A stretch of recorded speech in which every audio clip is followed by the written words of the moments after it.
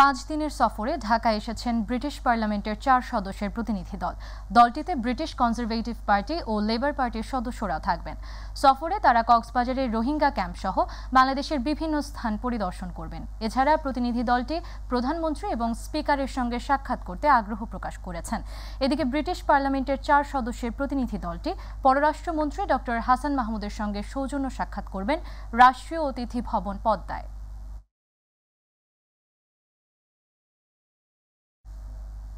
দর্শক, এই মুহূর্তে রাষ্ট্রীয় অতিথি ভবন পদ্মার সামনে রয়েছেন সহকর্মী আমিনা হীরা।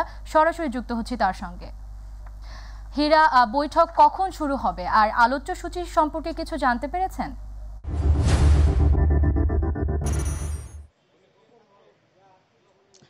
আমাতুল, আপনি জানেন যে ব্রিটিশ কিন্তু পার্লামেন্টের চারজন সদস্য বাংলাদেশে সফরে এসেছেন।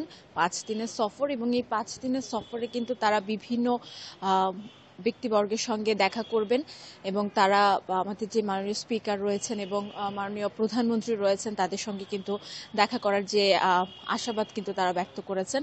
এরই পাশাপাশি কিন্তু তারা বাণিজ্য প্রতিমন্ত্রীর কিন্তু একটি নৈশভোজের অংশগ্রহণও করবেন তারা। এবং আজকে পররাষ্ট্রমন্ত্রী ডক্টর হাসান মাহমুদের সাথে তারা পদ্মায় একটি বৈঠক করবেন। এবং পদ্মায় সেই বৈঠকটি অনুষ্ঠিত হবে দুপুর একটা নাগাদ। এবং একটা নাগাদ বৈঠকের পরে দেড়টার দিকে কিন্তু মন্ত্রী আমাদেরকে জানাবেন যে বৈঠকে কি কি বিষয় নিয়ে তারা কথা বলেছেন। যদিও আমরা ধারণা করছি যেহেতু তারা সফরে এসেছেন এবং তারা দেশের রোহিঙ্গা সংকট নিয়ে কিন্তু তারা কাজ করছেন এবং রোহিঙ্গাদের কিন্তু তারা ডোনেট করেন, আপনি জানেন। তো সেই কারণে কিন্তু তারা এই রোহিঙ্গাদের ক্যাম্পেও কিন্তু পরিদর্শন করতে যাবেন। তো রোহিঙ্গা ক্যাম্প পরিদর্শন করে তারা কি ধরনের সিদ্ধান্ত নেবেন এবং কি করবেন সেটি হয়তোবা পরবর্তীতে বোঝা যাবে। এছাড়াও রোহিঙ্গাদেরকে আপনি জানেন যে প্রত্যাবর্ষণের জন্য কিন্তু চেষ্টা করছে বাংলাদেশ সরকার এবং ধারাবাহিকভাবে প্রতিটি দেশের সঙ্গেই কিন্তু তারা কথা বলছে যে রোহিঙ্গাদের প্রত্যাবর্ষণের জন্য যেন তারা সহযোগিতা করে।